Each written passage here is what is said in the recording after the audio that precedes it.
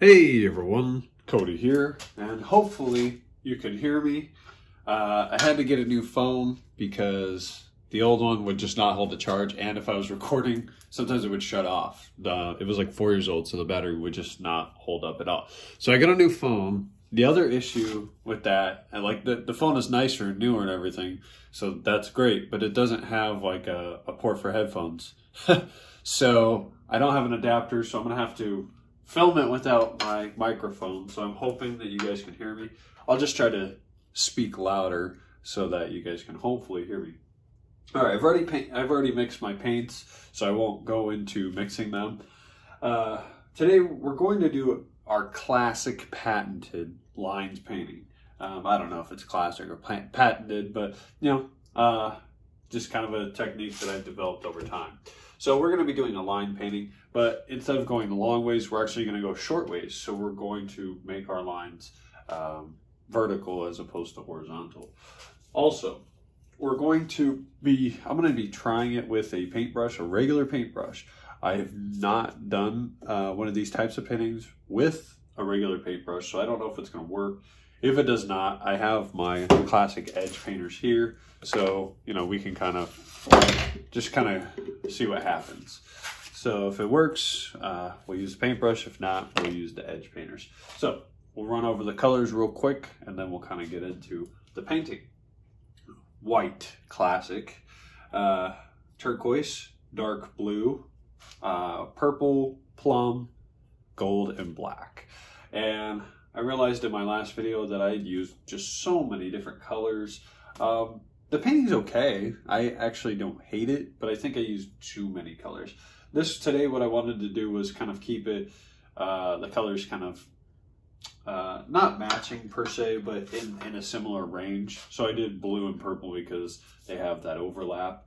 Um, also, I chose, you know, turquoise and this dark blue to kind of offset, and then I used purple and plum because they're similar, but they'll they'll create an offset as well. And then of course gold, black and white because I just love that color scheme so much. So without any further talking, let's go ahead and get started. So I want to do white kind of last. Actually, since I already have them set up this way, maybe I'll just use them from left to right. Might make it easier. So that's what we'll do. We'll go ahead and start with white. And uh, as always, well, not always, always, but uh, today we're using our gloss enamel paints. So I need to move these out of here. I get a lot of people asking me where you get them uh, from hard from hardware stores, or you can get them from uh, a paint store.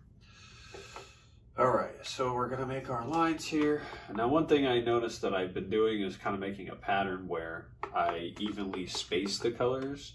Um, so I'm gonna try to not do that today. I'm gonna try to create some some lines that are thicker than others, but I'm also going to try to not necessarily make it even, even though it looks like I, I kind of am. So I don't, I don't have any at the very end over there, so I'm going to put a little stripe here. And then just to fill in this one, just put a little bit more paint to fill that in. All right, so I think that's probably pretty good. Just reinforce those lines a little bit and leave that there. So then we'll move on to turquoise. I really like turquoise. I didn't used to like turquoise when, you know, before until I started painting. And it's it's it's funny how after I started painting, I kind of developed a, an appreciation for colors that I didn't really care about before. Um, like yellow. Like I almost never used yellow, didn't really care for it. Uh, but after I started using yellow more, I kind of grew an appreciation for yellow. And now it's not my favorite color, but you know, I, I have an appreciation for it. So it's uh it's interesting, you know, how you can uh, I think it's interesting how your preferences can change over time based on what you're doing in your life. So it's kind of like foods, you know. You you may not like a food when you're growing up, and then when you become an adult, you start eating it all the time, and you're kind of wondering why you didn't like it as a kid, or you know what what changed to make you like it. But it's good because then it kind of you know kind of broadens your horizon i guess. Oh we got a this one's kind of thick. So i'm gonna go ahead and add some water. I don't know if you can see that or not. Add a little bit of water to it to kind of break it up. It's been sitting out here for a little while, so I think it's just drying out. So give it a good stir. And break that, uh, break it up a little bit. Yeah, that is helping. Perfect. All right, I think we're good. So going back to the conversation, um, yeah, when I was a kid, like I didn't like avocados. Um, my mom would eat them all the time, and I just couldn't understand the appeal of avocados. I was like, well, these are kind of gross um, and flavorless, and I just didn't get it. You know, they weren't sweet, they weren't spicy. They're just kind of like, it's almost like they just exist. Uh, so yeah, I wasn't a fan of avocados, and then um, you know I became an adult, and I like avocados now. You know, I, I especially like guacamole, so like chips and salsa and chips and guacamole. Uh, I think uh, Chipotle isn't my favorite restaurant, but I, their chips and guac are pretty good. Um, but yeah, I you know, but as again as a kid, I just I didn't like them, and I don't know why. You know, I don't know why what changed. To be honest with you, I don't know why. All of a sudden, I just like them as an adult. I just do, and that's kind of. I guess that's just how life goes. You know, it's. Sometimes I think that our preferences change even without us noticing. Like we don't know why it changed. We can't. We don't have like a definitive. Uh, like day and time that we can point back to and say, oh yeah, well, change this day. nah, I don't think it's like that. I think it just happens and we don't really recognize it. So we don't know why it changed or what changed it. It just did. Ah, I love the gold because I love watching it like fold on itself. I don't know if you can see it, but yeah, it's like folding on itself. Ah, that's my favorite. Gold is really fun to work with um, especially with this metallic um, like paint. What I like about it is that it it doesn't it doesn't follow the rules. Um, yeah, but essentially that is what I'm trying to say. Like it it doesn't follow the rules because anytime I use the gold, it, it kind of pushes out the other colors. And it's almost like a bully, right? It's kind of rude. Like it's like get out my way because I'm gold. But uh what I like about it is that it, it really comes through on the paintings. So like, I think it might be just because it's not necessarily gloss enamel, so it doesn't, it's not as like sticky as gloss enamel. Um, I think it also has to do with the fact that like, it's one, a different type of paint. So the rest of these are gloss enamel. I use a, a paint store called Dunn Edwards here in the Southwest. Um, but the uh, the PPG Metallics, which is the gold, um, which you can get at like Home Depot. The Metallics isn't gloss enamel, so I guess you know not all of my paints are gloss enamel. Now I'm saying that, uh, that one in particular is not. so with the metallic, you know, you can it just it works a little bit differently. So it's pretty much all the paintings that I use black, or I mean the gold for, it's like the gold has its own properties. So it just it just looks and acts differently because it's not the same type of paint. So all right, so we've got some gaps. I need to hurry up and fill those gaps in before the paint sets. It's already starting to dry, I can see it. Um, so I'm gonna try to get these uh, little gaps filled in. I think we're good there good there, good there, and good there. And then I think we're good. I think that's enough paint. So we're gonna go ahead and start. Uh, we'll start on the left and then kind of work our way right.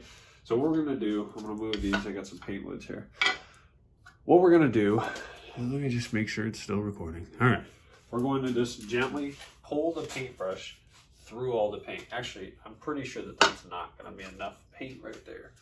So I'm just gonna go ahead and lay some purple in there just to fill in the gap. We just want to get enough paint to get the painting started. So, all right, so here we go.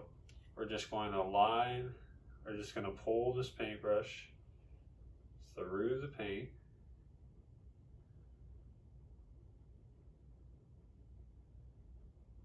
A nice even stroke. Okay, so it actually looks successful. It's actually successful. I need to move some of these, but I'm gonna need, I have to go back through it because I have to get the edges and want to make sure that we get the whole thing. So, all right, I'm pushing not super hard, but a decent pressure to make sure that it pulls those colors through. If I don't push hard enough, then it won't create the lines, but if I push too hard, then it pushes out the paint and it's really thin. So it's kind of a balance here. And I think we've got it. All right, I'm excited about this. So then we're gonna pull this through the next section here.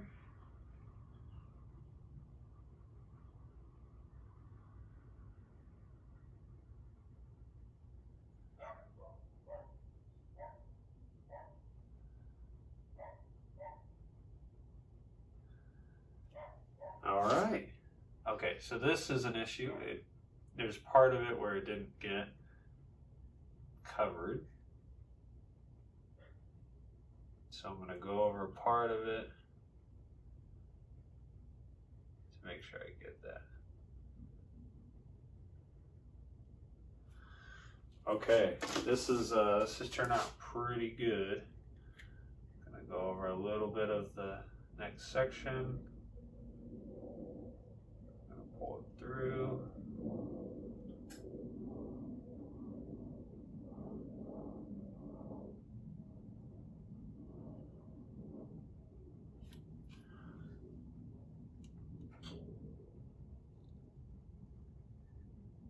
No. There's something in there. It's a chip of paint. All right, so it messed it up. So what I'm gonna do is, I'm actually gonna wipe this off.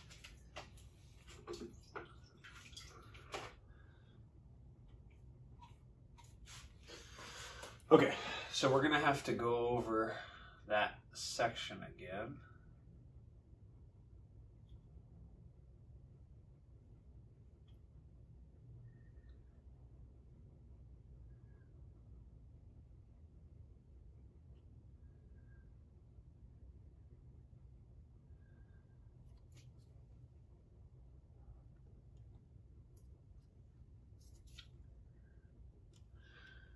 um, so well, that is a mess right there.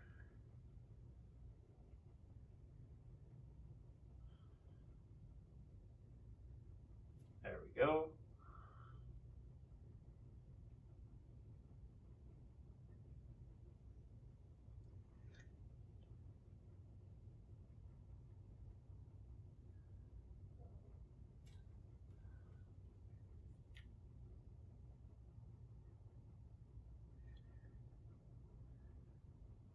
So I think the problem that's happening now is that there's too much paint on the paintbrush.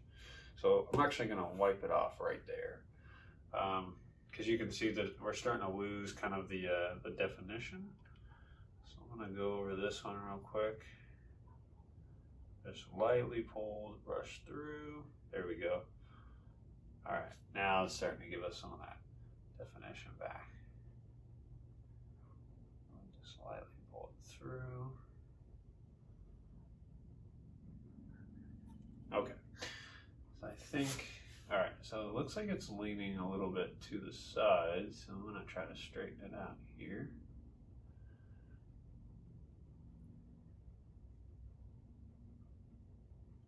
There we go.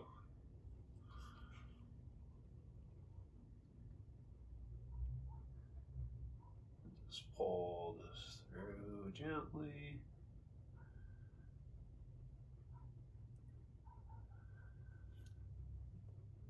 Okay, we got a lot of paint, so I'm gonna put that there. I'm gonna pull this through.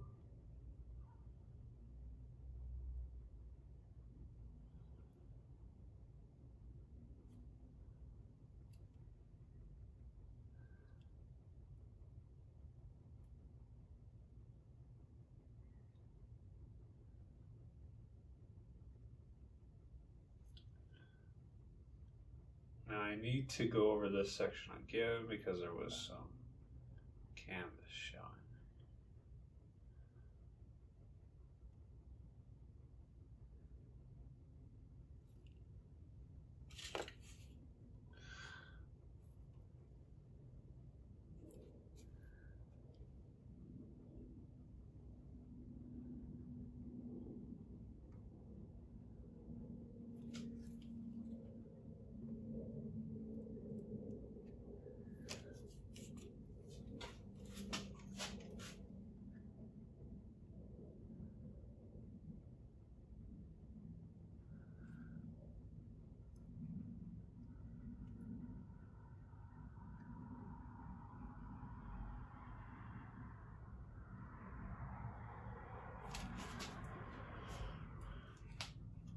All right, so we're done.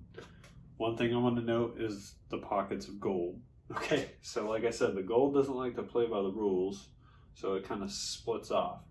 One thing I don't like is this little bubble here. I think I'm gonna I'm gonna go ahead and try to smooth it out. I may ruin it, but I'm gonna go ahead and try to smooth it out because it's kind of it throws off the painting for me. So I'm just gonna oh, okay. So I'm just gonna have to use the side with the paint on it. If I don't, then it's going to scrape all that paint off. Okay, perfect. All right, so I want to leave it. I don't want to keep uh, messing with it because I think that it will just make it worse.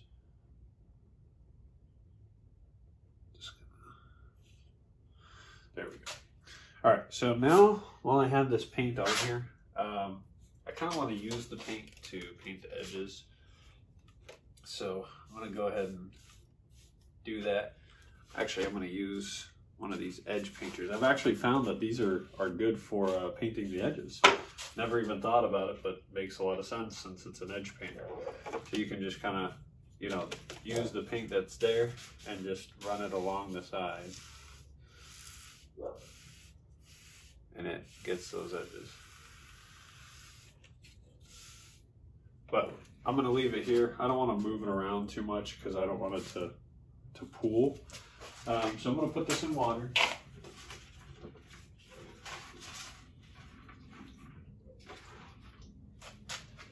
And I will take my gloves off and show you guys the final piece, which I'm actually pretty happy with. Um, I didn't know that the brush would work like that. But, you know, I got these edge painters thinking that was the only way it was gonna work, but uh, no, I was wrong. All right, so there they are. There's those defined lines that we like to see. I mean, I know someone said that, you know, Gerhard Richter's work had the, uh, was digital, but I've never, again, never really seen lines this thin in a painting before. So to create them with a brush is, uh, it's pretty interesting. And all I did was just bring paint, you know, up and down the painting. But And then there's the gold, of course, like I said. It doesn't like to follow the rules. And then we got colors within colors. Look at, okay, in particular, look at this line right there. Do you see that really thin line? Like, that's incredibly thin. You know, I talked about paper thin lines in one of my other videos. I think it's even thinner than paper thin lines. The nice gold. It kind of created like a, a gray over here with, and then we got the pockets of gold, of course, which I really, that's what I'm talking about with the gold. Like, I really like it because it, it separates the colors and it creates these little cells that the other colors don't make. Now the, the gloss enamel I don't think is meant to do that. So that's fine. But the gold, putting the gold in there, it breaks it up. So it, it kind of gives it a little bit of character.